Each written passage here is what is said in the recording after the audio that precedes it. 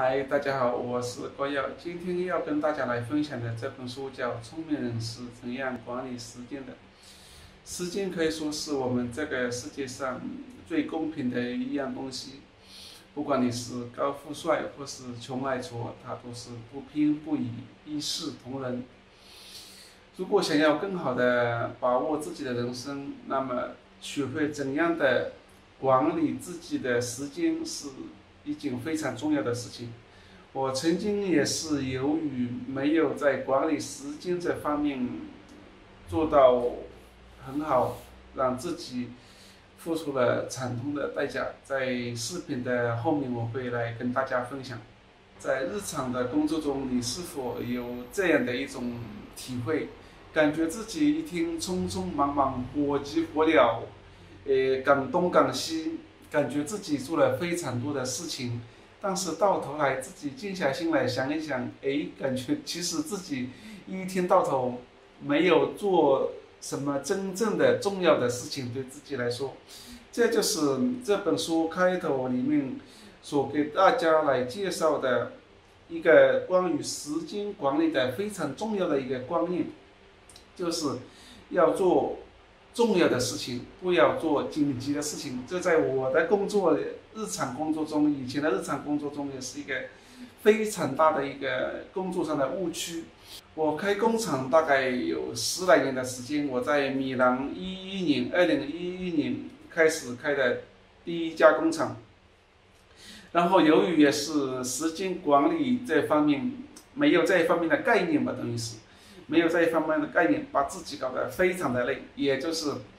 自己的工作重点没有抓好，因为自己的工作重心没有抓好，以至于急于忙于去处理一些感觉比较紧急，但是不是那么重要的事情，让事呃那些事情占据自己的大部分的时间。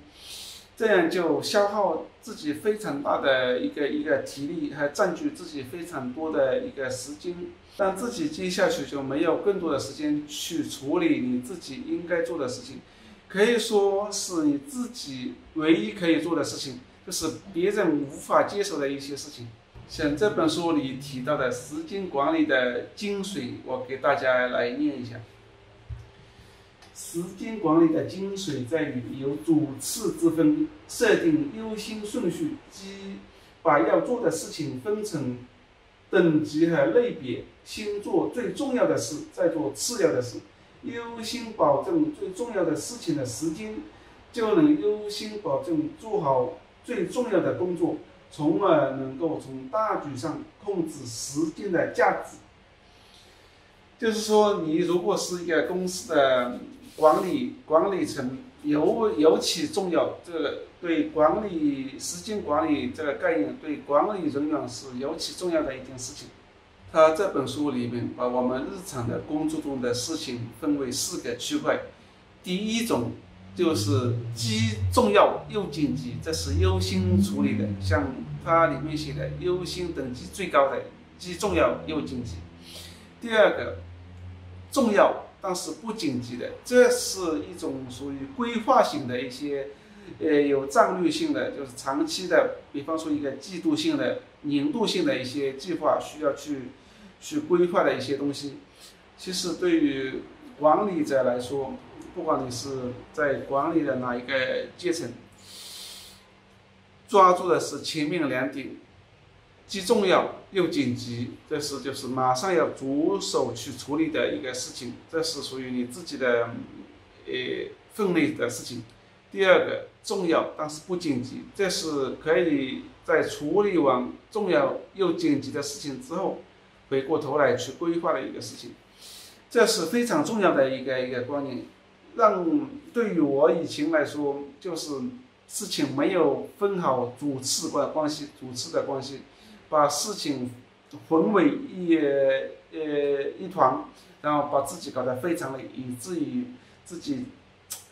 体力消耗非常大，然后出现健康的问题。所以说，把事情主次分明，然后它的重要性分明是非常重要的。所以说，我们要有做重要的事情这么一个观念，观念的一个转变，而不是先从小事情着手，让自己获得满足感、成就感之后，然后再去做更重要、更困难的事情。他这里还有一段提到。不值得做的事，会让你误以为自己完成了某些事情。你消耗了大量的时间和精力，得到的可能仅仅是一丝自我安慰和虚幻的满足感。当梦醒后，你会发现，该做的事一件都没有做，而自己却已经疲惫不堪。这就是我以前的一个工作状态。我以前在米兰开工厂的时候，开了好几年，开了五六年。现在我来跟大家分享一下，由于以前我工作没有分清主次和设定优先顺序，给我的工作带来非常大的负担，以至于自己的身体健康出现问题之后，然后忍痛腰斩，就是价格上卖掉了自己的公司，忍痛卖掉卖掉了自己的公司。我以前在米兰开工厂的时候，由于送货呢，或是我的本分，我完成了这两件事情之后，然后有模特做模特的时候，也是我的一个重要的任务，我这是我需要完成的。但是呢，在日常工作中，由于有时候要急着交货，比方说油漆漆漆不出来，自己赶紧去帮忙油漆；车车不出来，赶紧又去那里搞一下。然后手工做做不出来，然后又去帮忙手工搞一下，就是自己到处跑，到处跑，就是工厂满满天飞，哪里需要我就去哪里，就是这本书书里面所说的救火救火队长这么一个角色。但是呢，如果我把精力都放成放到零零碎碎的那些事情当中，自己的主要的事情、最重要的事情就落下了，就是做模特。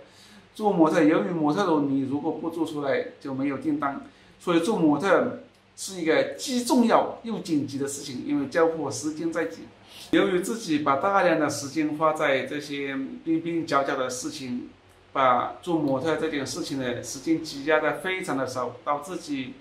呃开始做模特的时候已经是时间已经非常少了，所以要呃经常的熬夜加班，有时候甚至通宵。就是那时候的自己就没有反应过来，没有这个时间观念，就没有没有这种概念。那些紧急的事情其实是可以调度好的、安排好的，或者多交给工人呢，或者把一些事情把一些权利下放给一些嗯呃骨干的工人，都是可以完成的。自己去抓重点，抓住模特，就是跟上面的业务来往来往。上面的公司，